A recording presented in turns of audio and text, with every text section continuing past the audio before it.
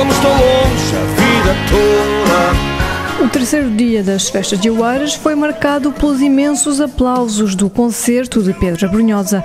Foram cerca de duas horas e meia com vários temas do cantor. Fiz 20 anos no chão, na noite de Amsterdão.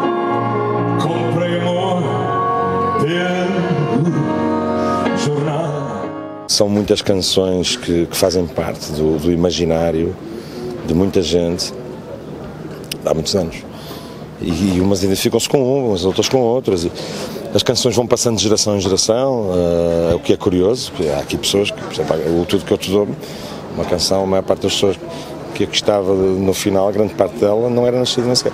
Portanto, são, são é uma celebração em torno das canções. Não é?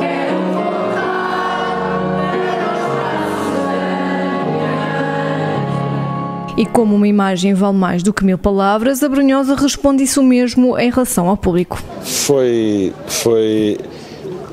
Se vocês têm imagens, não têm? Passem-nas. E quanto às novidades?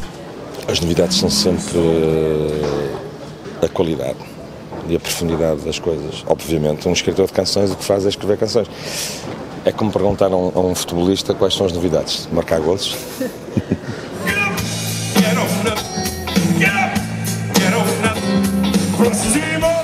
Festas de Oeiras 2019, de 31 de maio a 16 de junho, tudo vai girar à volta de Oeiras. Concertos imperdíveis com Calema, Marisa, Pedro Brunhosa, David Carreira, Carolina Deslandes, Matias Damásio, Gabriel o Pensador, chutes e pontapés e muito mais. Atividades desportivas para todos. Animação para as crianças e um incrível espetáculo piromusical e multimédia no encerramento. A não perder. Festas de Oeiras 2019. Uma festa que gira à volta de todos nós.